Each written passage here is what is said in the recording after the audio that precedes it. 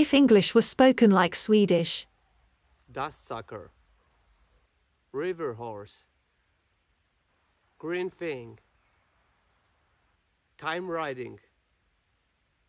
Water boiler. Flight place. Shield frog. Bounce carpet. Chill cupboard.